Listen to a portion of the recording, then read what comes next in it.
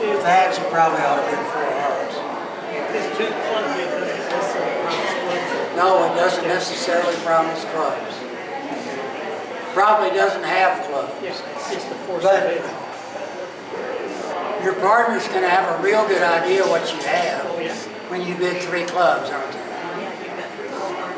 Three four-card suits. Maybe two four-card suits and a five-card suit.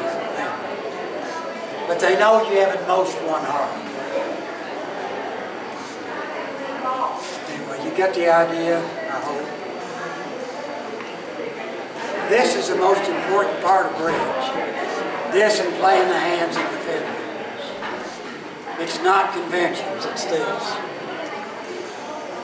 Yes, and what else was that? Defending and playing the double. Defending on defense. But this is the most important part about bidding. Yes, I'll send it to you, Ryan.